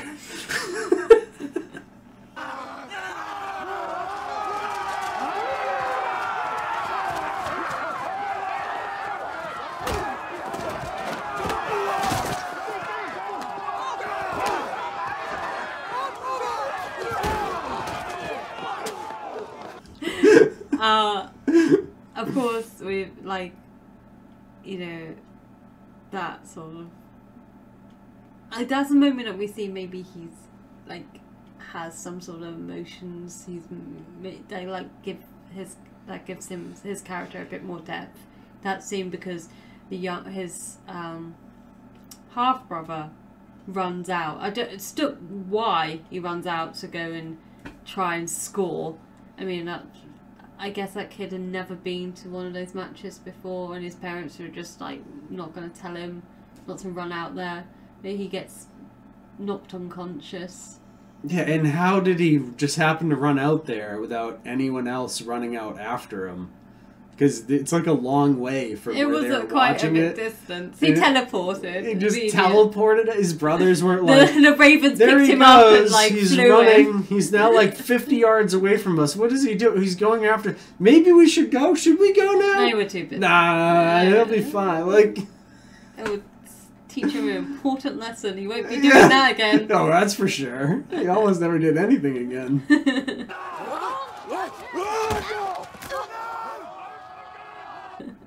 so the big man beast almost kills him, and then Mm. our hero, the Northman, comes in and does he kill the big beast? Oh yeah, or- he bashes him up. yeah, he might be dead.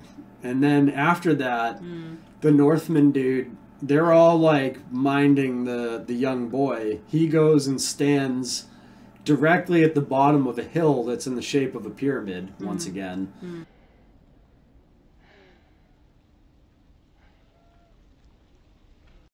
Showing like the enlightenment and like the transcending up. And why is that? Because he saved the half brother, which was still on the tree of life Hmm. right? So like he, the half brother was still a part of that like life tree, the family tree, Hmm. right? That's why he.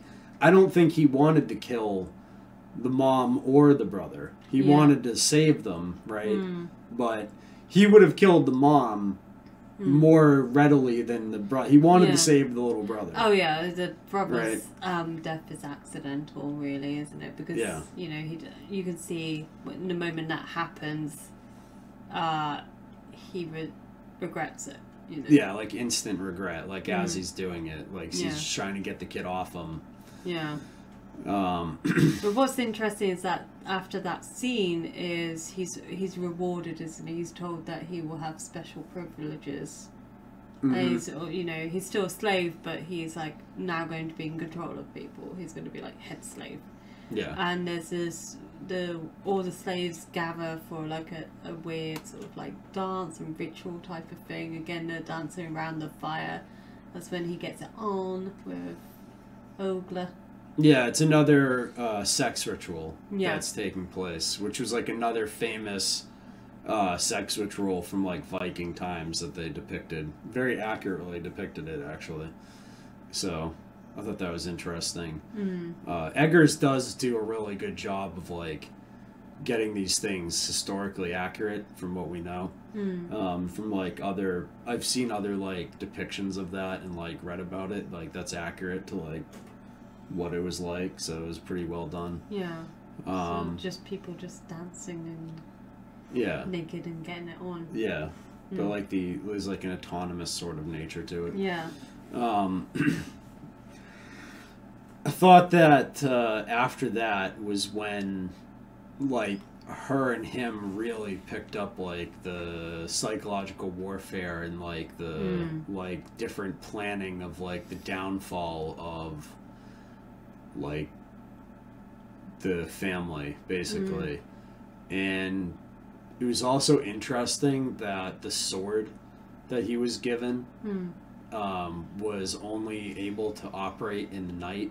So like it had to have moonlight on it. So Hmm. like it was powered by like the power of the occult, Yeah. which is like the nighttime, right? Which I thought was like an interesting. Mm. He has to descend down into like the ship which is buried. So Yeah. he has to go below.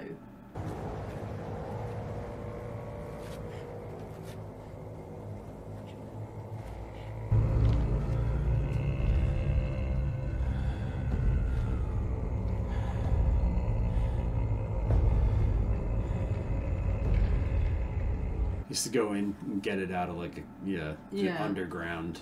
Yeah. Like- I know it's a weird trippy scene then because Yeah. again like we were saying where does he see the, the the female witch earlier in the movie she's gone he has this whole weird I said it's almost like a video game you know where he has to do a boss fight Yeah. with this um tall, sort of like Viking that's been buried with a sword, and then beat you know does it beats him, and then you see him picking the sword back up from the guy, and he just completely like breaks. Mark well the full moon's light!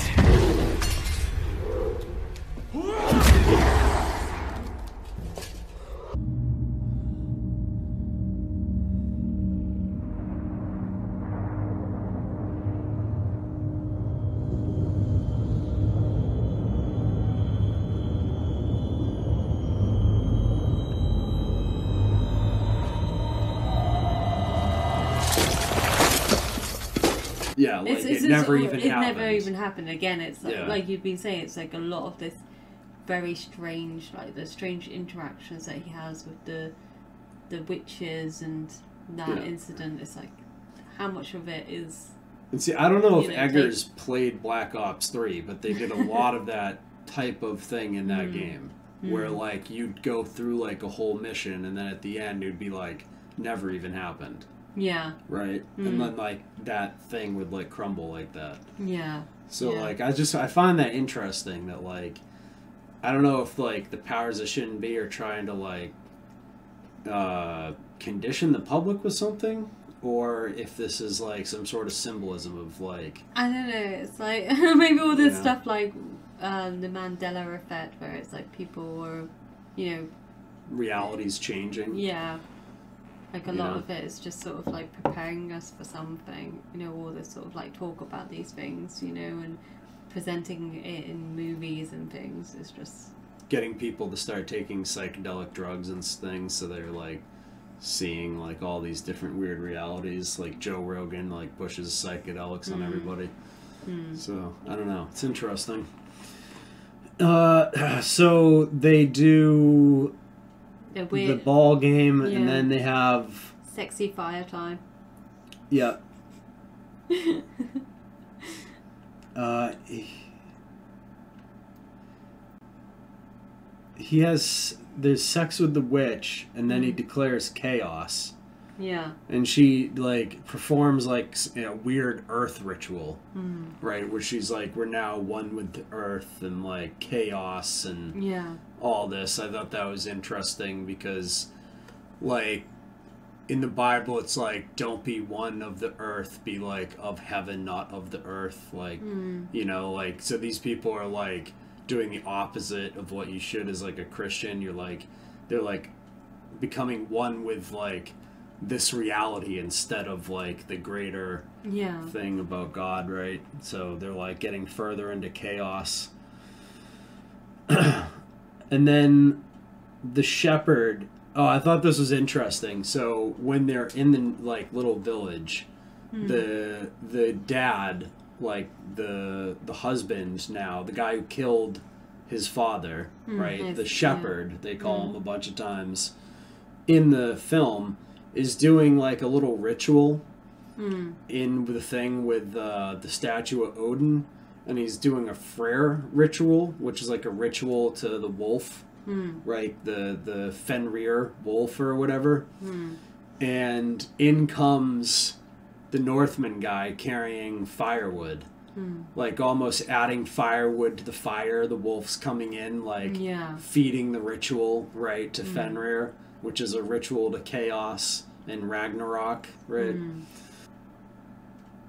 Of course, there's a scene where, um, you know, we've already briefly spoken to about it, but the uncle's oldest son um, is is murdered um, by uh, Amleth, Mhm. and uh, his heart has been taken, and uh, you know the the shepherd, the uncle, uh, rounds up all of the uh, slaves and you know is going to he kills a few of them. Mhm. um, you know because he's trying to find out who's aiding. Um, and that's when Amleth comes back and he has the heart and he's like no I'll let you have the heart if you let um, the, the witch go. The, you know uh, however he sort of says oh how you know the heart could be like a, was it like a wild dog or something? You know, he, or how do you know it's your son's heart and he's ca- you know captured and beaten up? Mhm. And uh, who aids his escape is Odin with he brings the ravens to um, you know peck the ropes and let the let the Northmen go. So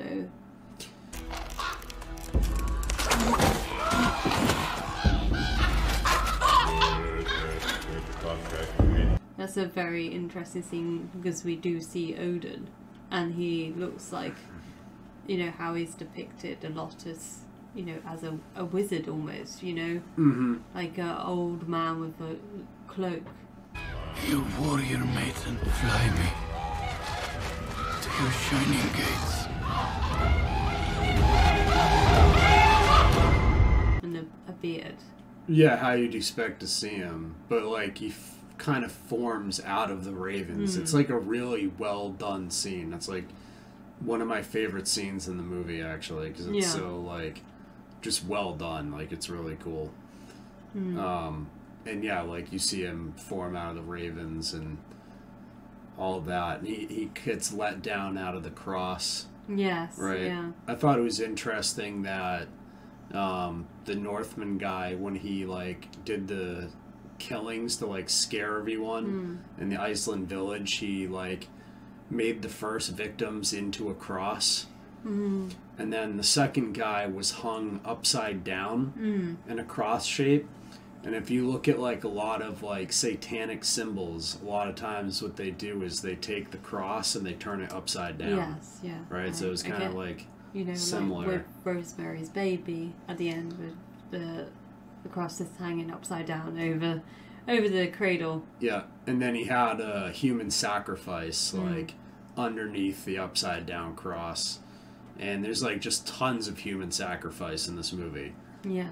Like if Eggers is trying to show you anything, he's trying to show you that these like ancient pagan religions are not very good. Like Mm. he's definitely not painting them in a in a good light. Right? No, no, and I think it's it's interesting again when uh, they have the um, the oldest son's uh, funeral. The father and the youngest son are sort of um, covered in blood.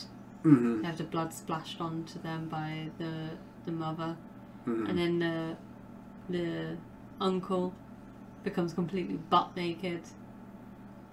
Uh, Yeah, it's just like the weirdest stuff ever. He's delivering his speech how he's like going to you know get revenge and everything and he's like stark naked Yeah. it's like okay at any chance they just want to be covered in blood and be naked Yeah, it's just constant, like weird ritualistic. Mm. Like, what what point of like taking the blood of a sacrificed person and a sacrificed like goat or something, it was a horse or a kills them, he horse, yeah, them.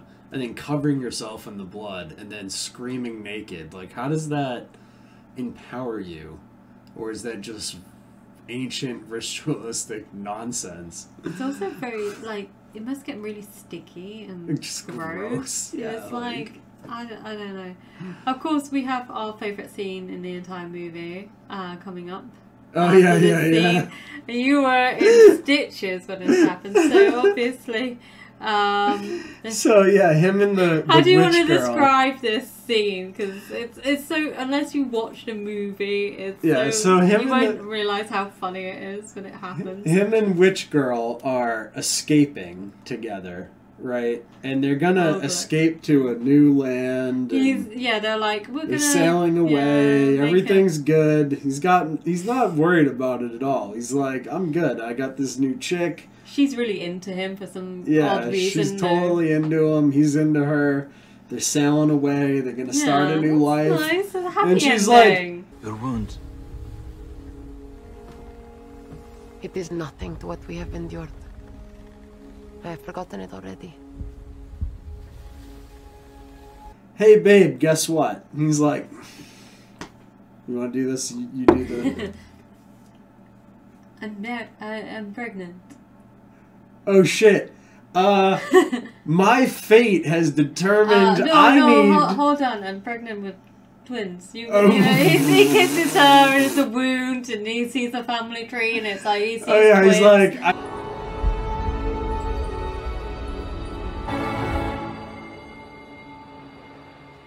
My family's blood. My own blood is inside you. I see twins in your future, my dear. He's like, I also saw in my future when I did that Mm. me in all of my gear, including my heavy sword and my shield that will make me sink like a rock to the bottom of the ocean. I'm out. See you later. I'm gonna jump off the boat. You're preggers. I'm leaving. I don't care what's going on. I'm Yeah. off this motherfucking She's- boat.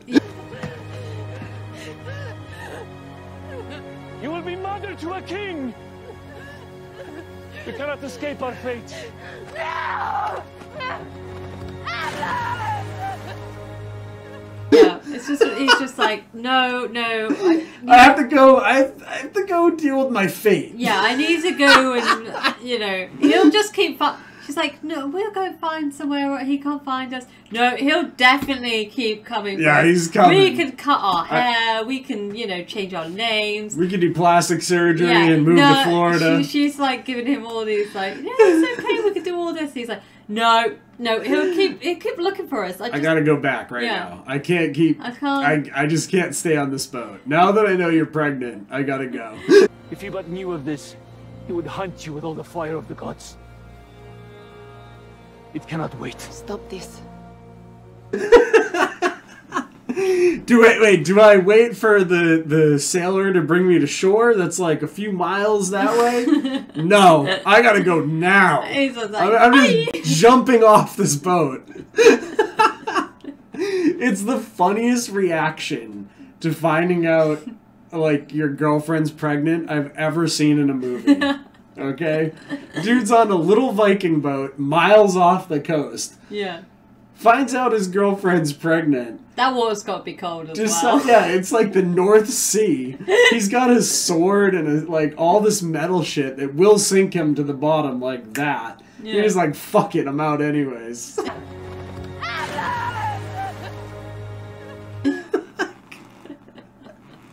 Makes no sense. It doesn't. Okay. So then he gets back to the village Hmm. and what like he just starts like howling, right? Right? Which drives all the dogs crazy Mm. in the village and the dogs start like attacking their owners. Yeah. And then Which is, yeah, again, really interesting because we've spoken about this before how, like, the hounds of attacking people and what they, you know, the devil taking on, you know, uh,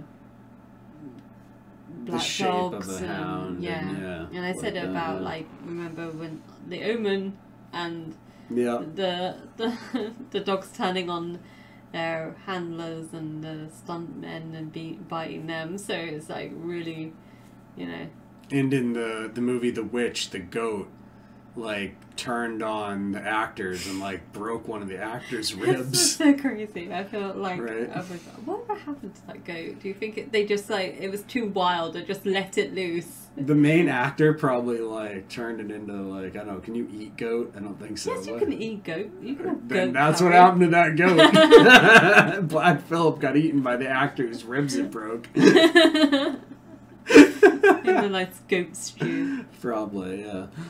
So, anyways, yeah. I mean, I thought that was interesting with Mm. like that symbolism there. They come back and like you have like the, once again he's using his animal altar to like drive the Yeah. dogs crazy, um, and they all go nuts and attack their owners. He gets his revenge on the nose nose guy. Yeah, he kills the nose guy. You know, like the grossest, horrible way where he's like putting his sword through the remainder of his nose. He's like, you know, come to claim the rest of it or something along those Yeah, lines. yeah. But I thought, like, yes, he's um, he uh, confronts his mother, uh, well, his mother and his it's already confronted her, but then his his mother and uh, his half brother are hiding in the closet, and I don't know what is it with people in this movie. They could just like have a perfect opportunity to stay hidden, and like, nope, I'm gonna just jump out and attack you.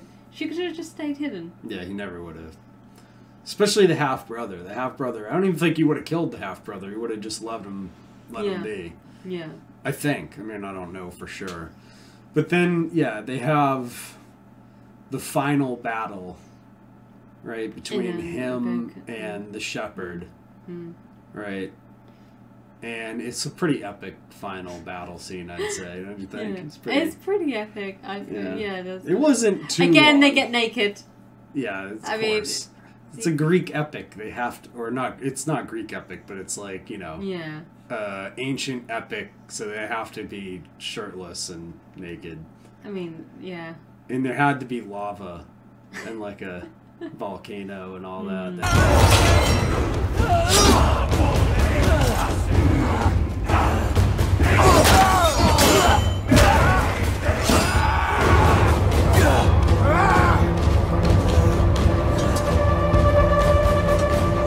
Had to happen.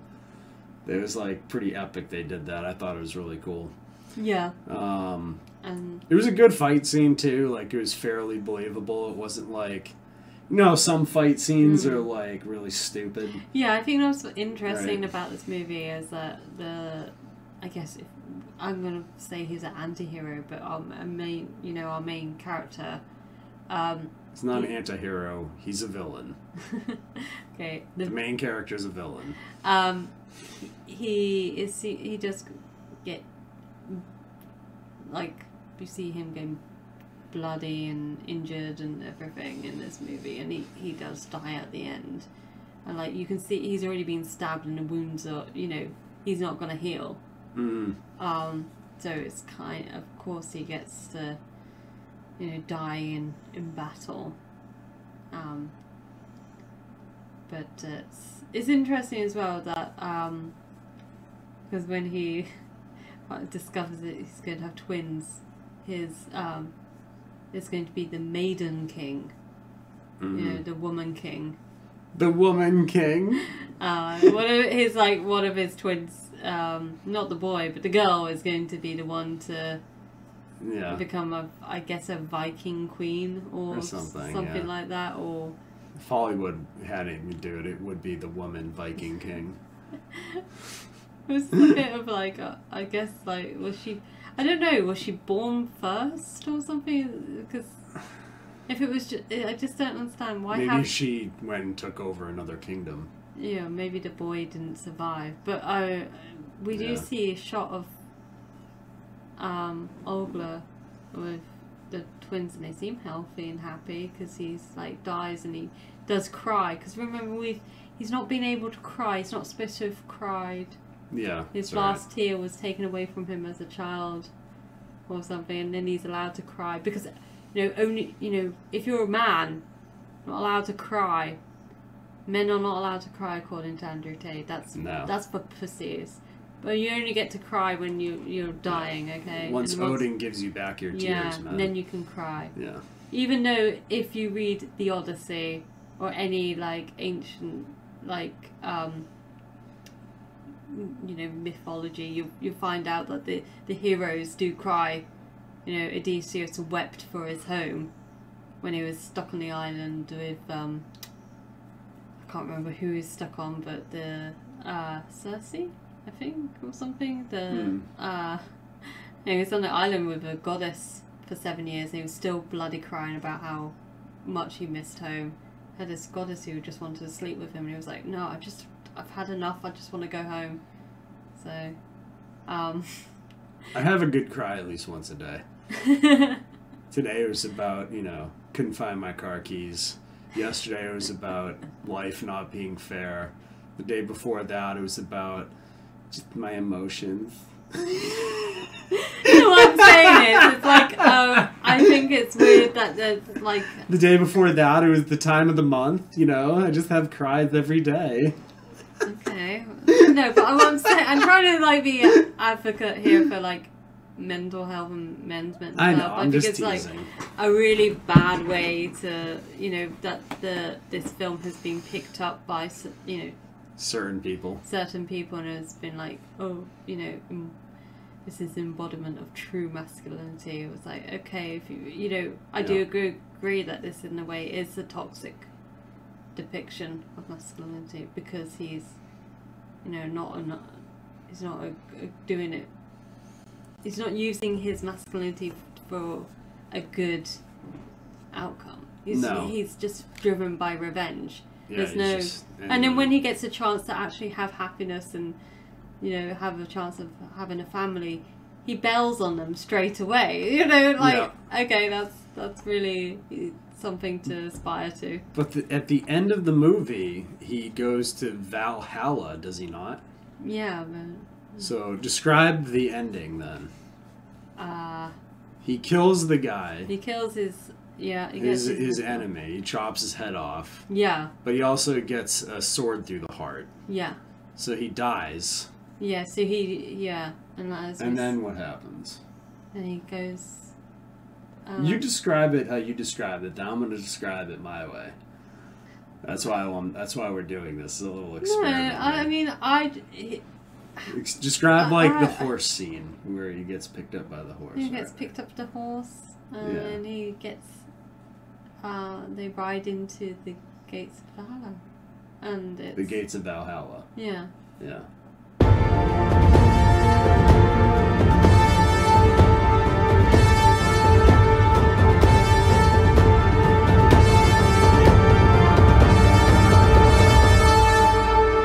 Where did he die, though? What did they keep calling it? Uh, I can't remember. The gates of what? Oh, he dies in the gates of hell. He dies at the gates, of, hell, which is the murdering someone. yeah. He Right. dies in a, voca- a volcano. And then an Or is it- angel on a white horse rides him to heaven? She's not. She's a Val- Valkyrie, isn't she? She's like doing a battle cry. It's not. They're not. They're not seen as being a good thing. No. Um, if you do look through Norse mythology, they're actually like the embodiment of death, and they're not like supposed to be seen as like these beautiful. She wasn't very beautiful. She was No, kind of scary looking. Yeah, but the, the people have seen try and see them now in how they're depicted in like Marvel movies. I hate to bring it Mm. up again, but like as being cool and badass and like uh, girl power and slay slay queen.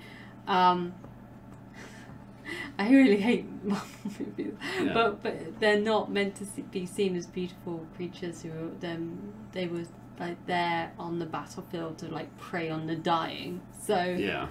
um, but yes, it's a. You think it's a a good ending because he's go. We think he's going to heaven because he's ascending upwards. Because we see that as like seeing the gates opening and the light coming. And that's like for us, like when you see people going to heaven, that's like they're always going above and the the lights. You know, it's a light, airy sort of. That's how. Hollywood depicts it, Yeah. Um, so you would be thinking that's the same here with like how the Vikings, but that's Mhm. not like you said. He's fighting at the gates of hell. So it- All right, so where am I going with this, I, right? I mean, you're implying that he's not going to. Heaven. He's going Okay. a warped So- version of it. no. So Hollywood depicts heaven constantly as going into the light, right? Mm. Go into the light. Go always. It's always depicted as a Mm. blinding white light. What is Lucifer described as in the Bible? But a blinding white light, right? And uh, Lucifer can depict himself as an angel of light, right? So when people have studied like near death experiences, Mm. generally there's two types of near death experiences that take place. One is which, you know, you wake up and you see like family members, people you recognize, and you're going on a journey somewhere together with like your family members and people that you love. Hmm. And it's a very warm, kind feeling and like you're going on a train or you're going on a bus somewhere. You don't know where you're going, but you're going with people you want to be with, that you Mm. recognize from your life. Right, Okay? yeah. It's very happy, loving. That's one, you don't want to wake up from this. Okay? Yeah. That's one description people have given over and over again from their near death experiences that, like, nurses recorded. Okay? The other version that people see is they wake up in, they see themselves in, like, the third person. They're, like, in the hospital room Mm. looking down on themselves, and they see, like, hospital people trying to save them or whatever. And then they see, like, something or someone they don't recognize out in the hallway, like, directing them towards them, right? And you start going towards that, like, bright individual or bright light. And then you realize that you're like in a tunnel heading towards a bright light, right? So you start going, oh, towards the light, right? And you have like things that you don't recognize kind of guiding you towards it, like being like, go towards the light, follow us, come to the light.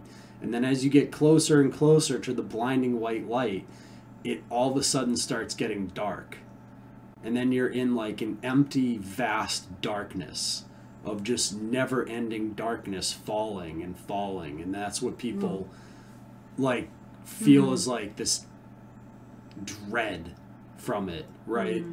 And like then people have described worse things happening after that like but that's like kind of like the two different paths right?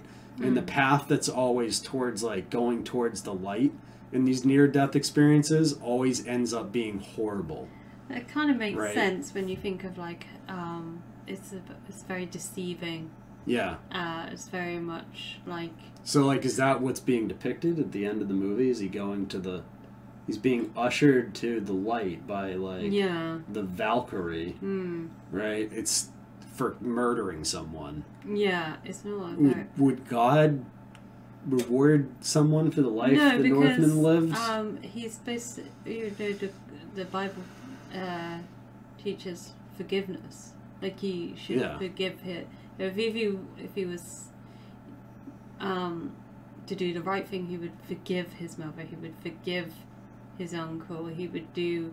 He would not bail out on his family. yeah he would have He wouldn't have done any of the things that No. if he was really But he- wanted to be on a path of redemption. He would have. He would have done something redeeming at the, you know, like he would have like gone with the family Yeah. to a new land Mm. and like repented all the bad things he had done and Mm. like tried to like make up for his horrible life by raising two children the right way instead it's just like, oh, Yeah. Um, I hope I hope things turn out for you. You know, here's a here's some gold. Good luck with that. I'll see you later. i'm gonna go try to die by fighting someone in combat see ya like you know what i'm saying like and his reward is going to heaven but you don't Mm. see what heaven is you just see him kind of going towards it Yeah. Right. So I think that's what the symbolism there is at the end. Mm. That's kind of what I saw. Yeah. So it's like depicted as something good, but really it's something bad. Mm. Right. So Yeah. that's the Northman. That's the Northman. So I yeah, I really like. I find this an interesting film. I think a lot of people, um, general people, um, have missed the point of this movie.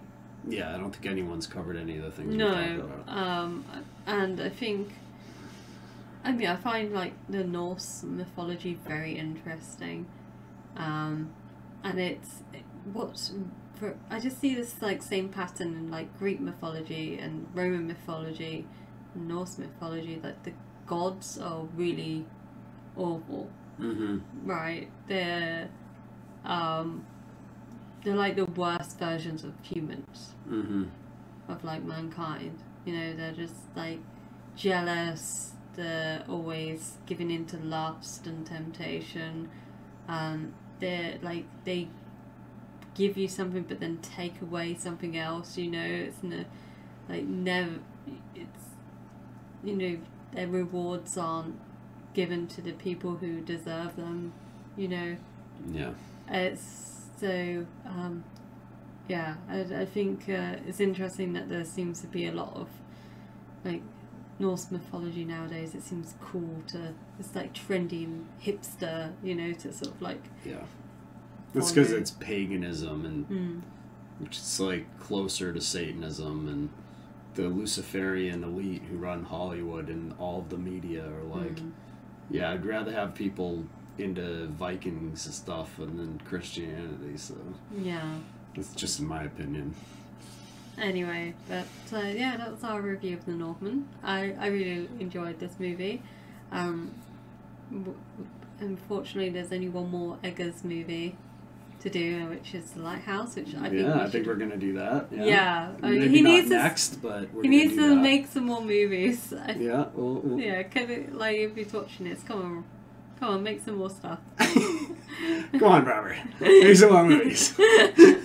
But, uh, But yeah, we have plenty more movies to review. Oh yeah, so- we've got tons. I know we're gonna do a review of like Clockwork Orange. Mhm. We gotta do one of Dune. We want to do the Terminator movies. Yeah, we'll do. There's a whole bunch. There's a whole do. bunch, and the people have Lighthouse, suggested stuff.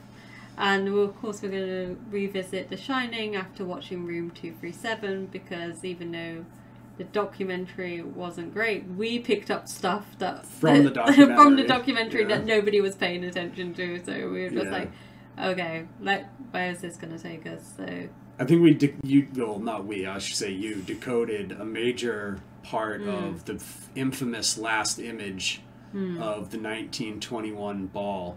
Yes. So Yeah. someone figured it out here. I don't. So, anyways, we should be. We'll do a Room Two Three Seven review slash Yeah. Shining review. It'll Yes. be like a combined Yeah.